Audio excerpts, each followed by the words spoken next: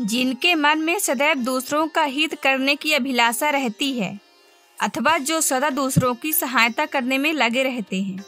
उनके लिए संपूर्ण जगत में कुछ भी दुर्लभ नहीं है।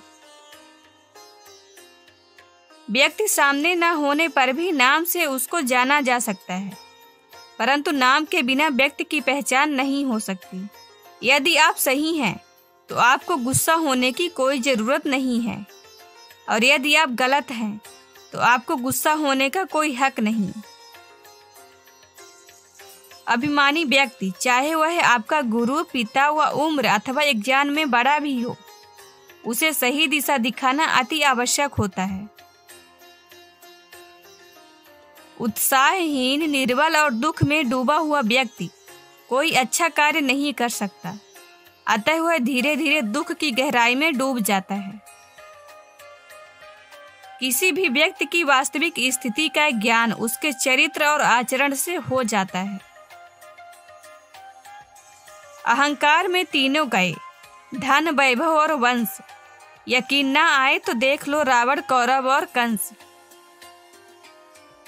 दया, सद्भावना और मानवीयता महापुण्यकारी गुण है। क्रोध हमारा शत्रु है और हमारे जीवन का अंत करने में समर्थ है। अपने जीवन का अंत कर देने में कोई अच्छाई नहीं होती। सुख और आनंद का रास्ता जीवन से ही निकलता है।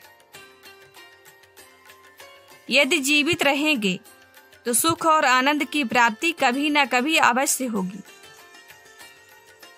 पिता, गुरु और श्रेष्ठ भ्राता, जो धर्म पालन का ध्यान देते हैं, वे सभी पिता समान होते हैं।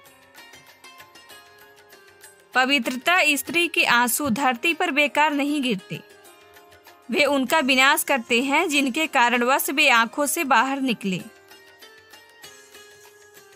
जीवन मौत तक जाती है, और मौत भी मेरे श्री राम के चरणों में आकर झुक जाती है।